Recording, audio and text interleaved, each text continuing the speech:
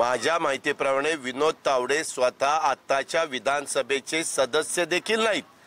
जी व्यक्ती सदस्य देखील नाही जे तिथं प्रमुख नेता होणार आहे त्याला मत पण देऊ शकत नाही ते येऊन इथं काय चर्चा करणार? आहे जे त्या म्हणजे भाजपचे प्रमुख प्रमुख म्हणजे चंद्रकांत पाटील चंद्रकांत दादा पाटील किंवा सध्याचे विद्यमान मुख्यमंत्री किंवा उद्धवजी ठाकरे किंवा एकनाथराव शिंदे हे आले असते आणि त्यांनी चर्चा केली असती तर आम्ही म्हणलो असतो ते कदाचित विचारायला आले असतील की तुम्ही पण पूर्वी भाजपमध्ये होता माझं तिकीट का हो कापलं असेल असं विचारायला आले असतील.